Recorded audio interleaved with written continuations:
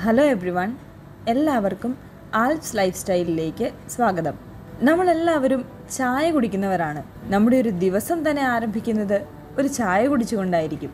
ഒരു റിക്രിയേഷണൽ അഥവാ refreshment drink ഒക്കെ ആയിട്ടാണ് ചായ അറിയപ്പെടുന്നത്. ഇതിലടങ്ങിയിരിക്കുന്ന പോളിഫിനോൾസ് കഫെയിൻ കാറ്റച്ചിൻസ് ഇവയെല്ലാം മനുഷ്യ ശരീരത്തിന് വളരെ ഗുണകരവും ആരോഗ്യപ്രദവുമാണ്. പ്രധാനമായിട്ടും രണ്ട് തരത്തിലാണ് ചായപ്പൊടികൾ ഉൽപ്പാദിപ്പിക്കപ്പെടുന്നത്. സി ടി സി തേയില ഓർത്തഡോക്സ് തേയില. സി ടി സി വിഭാഗത്തിൽപ്പെട്ട ചായപ്പൊടികളാണ് സാധാരണയായി നമ്മൾ ഉപയോഗിക്കുന്നത്. അതിൽ തരിത്തേയിലയും പൊടിത്തേയിലയും ഉണ്ട്. തരിത്തേയിലയ്ക്ക് കടുപ്പം കുറവും രുചി കൂടുതലുമായിരിക്കും.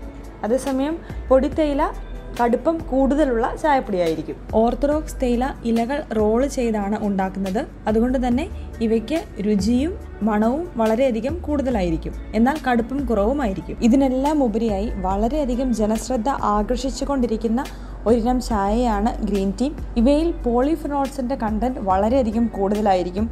അതുകൊണ്ട് ഗ്രീൻ ടീ കുടിക്കുന്നത് വളരെയധികം ആരോഗ്യപ്രദമാണ്. അപ്പോൾ എങ്ങനെയാണ് ശരിയായ രീതിയിൽ ഒരു ചായ ഉണ്ടാക്കേണ്ടത് എന്ന് നമുക്കൊന്ന് നോക്കാം.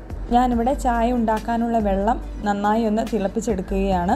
വെള്ളം തിളച്ചതിന് ശേഷം ഫ്ലെയിം ഓഫ് ചെയ്യുക. ഫ്ലെയിം ഓഫ് ചെയ്തതിന് ശേഷം മാത്രം നമുക്ക് ആവശ്യത്തിന് വേണ്ട ചായപ്പൊടി തിളച്ച വെള്ളത്തിലേക്ക് ഇട്ട് കൊടുക്കുക. ഒരു കപ്പ് ചായക്ക് രണ്ടര ഗ്രാം ചായപ്പൊടിയാണ് കണക്ക്. ഇപ്പോൾ നമുക്ക് രണ്ടര ഗ്രാം കറക്റ്റ് അളന്നെടുക്കാനൊന്നും പറ്റത്തില്ല. എങ്കിലും നമുക്ക് എത്ര കടുപ്പം വേണോ അതിനനുസരിച്ച് നമ്മൾ ചായപ്പൊടി ഇട്ട് കൊടുക്കേണ്ടതാണ്. ഞാനിപ്പോൾ ഇവിടെ റിപ്പിളിന്റെ പ്രീമിയം ഡസ്റ്റി ആണ് യൂസ് ചെയ്യുന്നത്. നല്ല കടുപ്പമുള്ള ചായപ്പൊടിയാണ്. അതുകൊണ്ട് തന്നെ ചെറിയ അളവിൽ ഉപയോഗിച്ചാൽ തന്നെ നമുക്ക് ആവശ്യത്തിനുള്ള നല്ല കടുപ്പമുള്ള ഒരു ചായ നമുക്ക് കിട്ടും.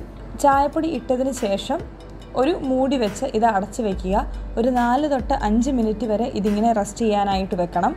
ഈ ഒരു പ്രോസസ്സിന് സ്റ്റീപ്പിംഗ് ടീ എന്നാണ് പറയുന്നത്. എന്ന് പറഞ്ഞിട്ടുണ്ടെങ്കിൽ ഈ ചായപ്പൊടിയിലുള്ള ഫ്ലേവേഴ്സും ന്യൂട്രിയൻസും എല്ലാം ഈ വെള്ളത്തിലേക്ക് ഇറങ്ങാനായിട്ട് നമ്മൾ അനുവദിക്കുന്ന ആ ഒരു സമയം ആ ഒരു പ്രോസസ്സിനെയാണ് സ്റ്റീപ്പിംഗ് ടീ എന്ന് പറയുന്നത്. ഇതാണ് ചായ ഉണ്ടാക്കാനുള്ള ശരിയായ രീതി.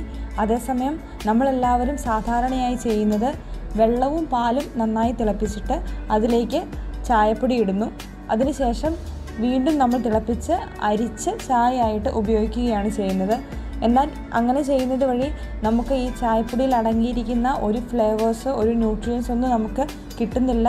തിളച്ചുകൊണ്ടിരിക്കുന്ന വെള്ളത്തിലേക്ക് ചായപ്പൊടി ഇടുമ്പോഴത്തേക്കും വെള്ളത്തിന്റെ ബോയിലിംഗ് പോയിന്റ് അല്ലെങ്കിൽ വെള്ളത്തിന്റെ തിള നന്നായി വരുന്നത് നൂറ് ഡിഗ്രി സെൽഷ്യസിലാണ് അപ്പോൾ ഈ ചായപ്പൊടിയിൽ അടങ്ങിയിരിക്കുന്ന എല്ലാ പദാർത്ഥങ്ങളുടെയും ബോയിലിംഗ് പോയിന്റ് ഈ നൂറ് ഡിഗ്രിക്ക് താഴെയാണ്. അപ്പോൾ തിളച്ചുകൊണ്ടിരിക്കുന്ന വെള്ളത്തിലേക്ക് ചായപ്പൊടി ഇട്ട് നമ്മൾ വീണ്ടും തിളപ്പിച്ചിട്ടുണ്ടെങ്കിൽ ഇതിലടങ്ങിയിരിക്കുന്ന പദാർത്ഥങ്ങളെല്ലാം നീരാവിയായി നമുക്ക് നഷ്ടപ്പെട്ടു പോവുകയാണ് ചെയ്യുന്നത്. അതുകൊണ്ട് നമ്മൾ ചായ കുടിക്കുന്നത് വഴി പ്രത്യേക ഗുണങ്ങളൊന്നും നമുക്കുണ്ടാവുന്നില്ല.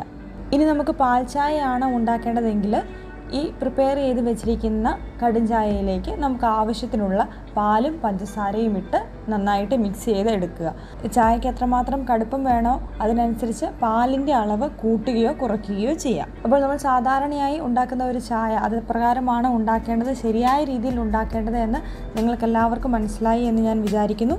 ഇനി അടുത്തതായി ഗ്രീൻ ടീ എങ്ങനെയാണ് പ്രിപ്പയർ ചെയ്യേണ്ടത് എന്ന് നമുക്കൊന്ന് നോക്കാം. ഗ്രീൻ ടീ ഉണ്ടാക്കാനുള്ള കണക്ക് നൂറ്റി അൻപത് എം എൽ വെള്ളത്തിന് ഒന്നര ഗ്രാം ചായപ്പൊടി. അപ്പോൾ ഗ്രീൻ ടീ ഉണ്ടാക്കുമ്പോൾ നമ്മൾ പ്രത്യേകമായി ശ്രദ്ധിക്കേണ്ട ഒരു കാര്യം ഗ്രീൻ ടീ ഉണ്ടാക്കാനായിട്ട് ഉപയോഗിക്കുന്ന വെള്ളം ഒരിക്കലും തിളയ്ക്കാൻ പാടില്ല.